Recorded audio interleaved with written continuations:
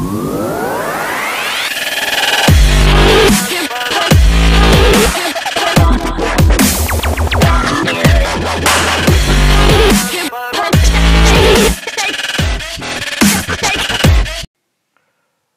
up you guys? Hope you guys are doing good. Welcome to our Dream Dot channel. For those who are visiting our channel for the first time, I would like to quickly introduce myself. I'm a software professional with around 10 years of experience.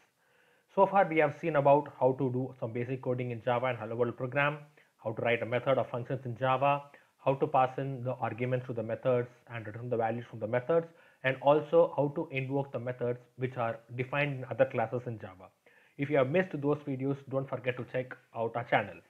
So now we are going to find some basic differences between the access modifiers in Java. So in Java, primarily we have four types of access modifiers. So you have a private, you have public, and you have protected. You have private, you have public, and you have protected access modifiers. Along with this, there is one other access modifier, which is a default access modifier, which is called as the package access modifier. If you don't define any access modifier for a method, so then it becomes the package access modifier. So now let us uh, uh, have, let's try to see one example for each type of access modifier so that you will uh, understand them in detail. So let's try to create a new class which you have seen in our previous videos if you have missed it. So try to uh, check it out in our uh, channel. So let's have a sample name for our uh, class.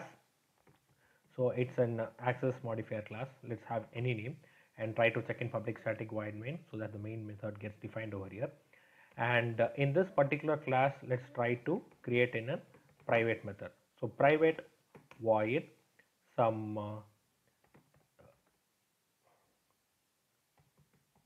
greet greet method. And let this method take an input argument as a string as a name.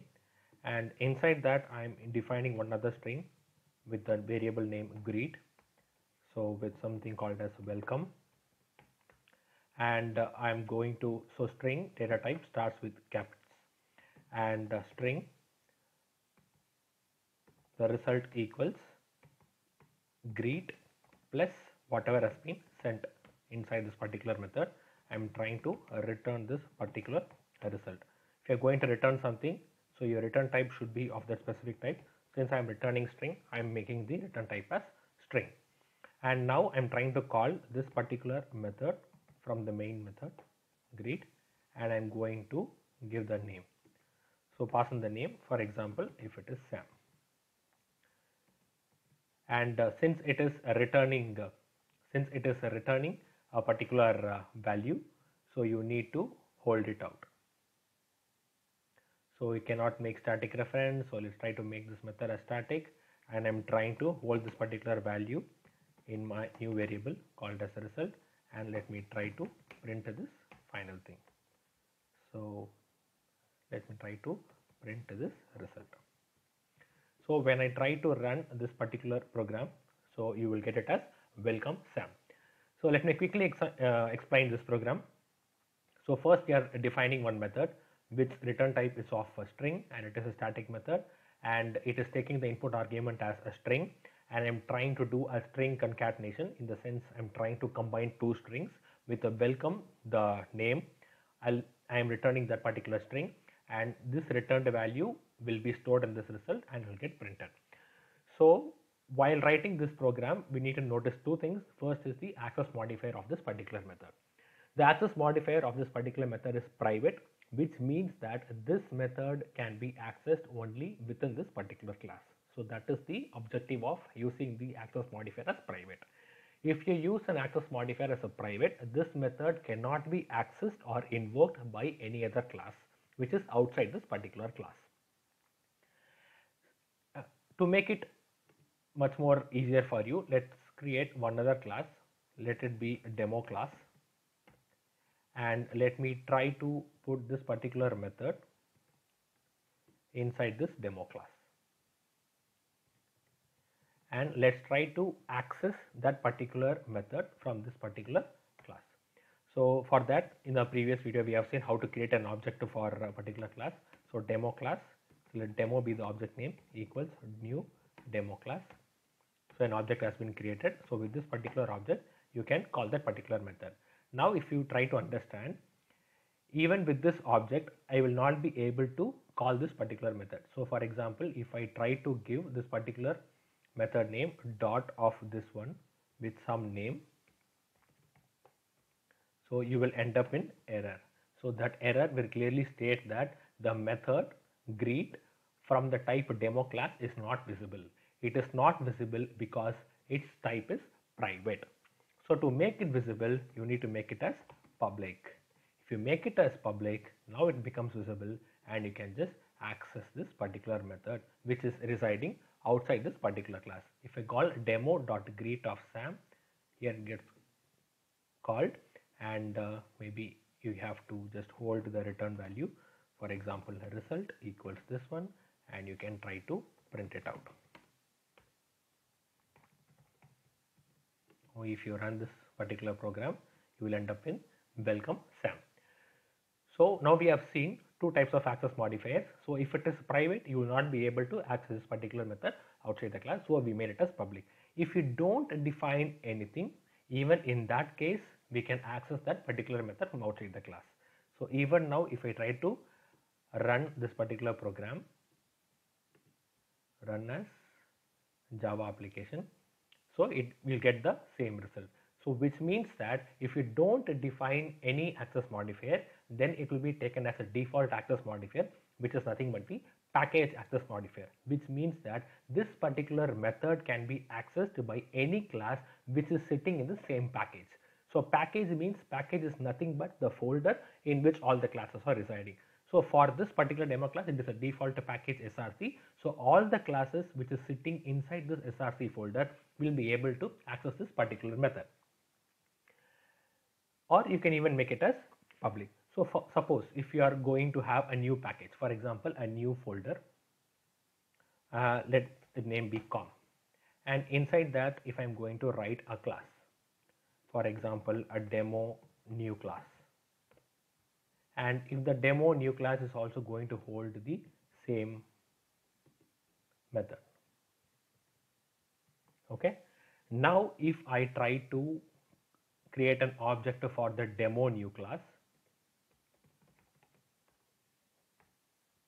demo new class, demo one equals new demo new class and demo1 dot.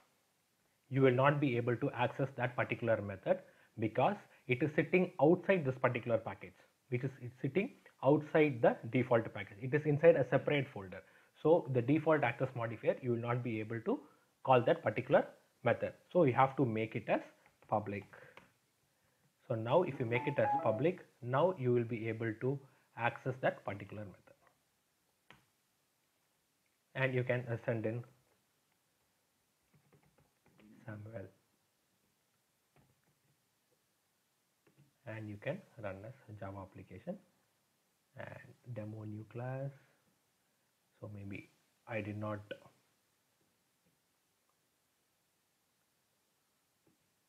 I did not catch that particular result. Maybe we can just try to get the result in a new variable and we can try to print it out. Now if you run, you'll get it as welcome Samuel. Finally, there is one other access modifier called as the protected access modifier.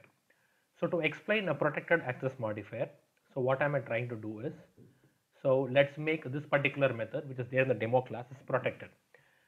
So protected access modifier is very similar to that of the default package access modifier that it can be accessed by all classes within the same package and if this method is outside the package then it can be called only by its subclasses.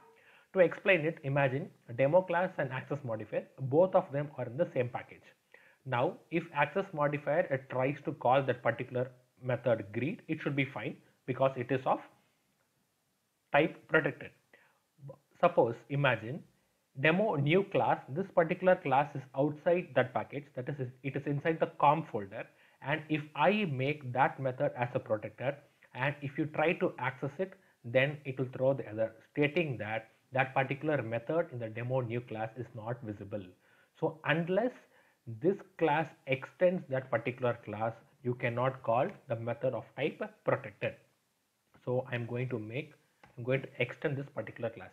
Extending the class is nothing but, so if you extend a class, this demo new class will become the super class and access modifier will become the subclass. In the sense, this access modifier can access all the methods which is there as a part of a demo new class. Now, since I extend this particular thing, I'll be able to access a protected method from the demo new class even though it is outside the package.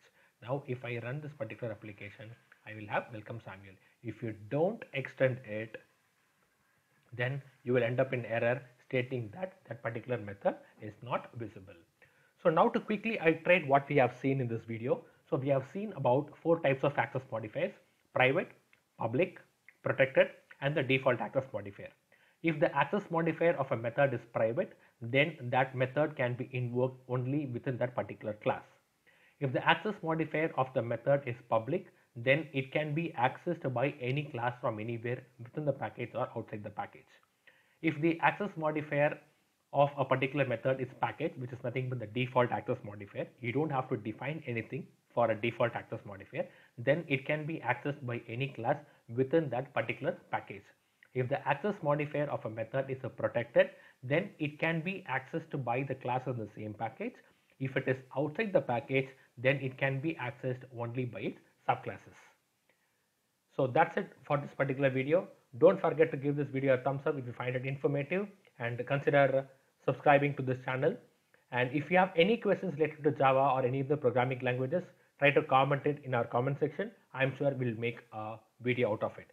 Thank you so much.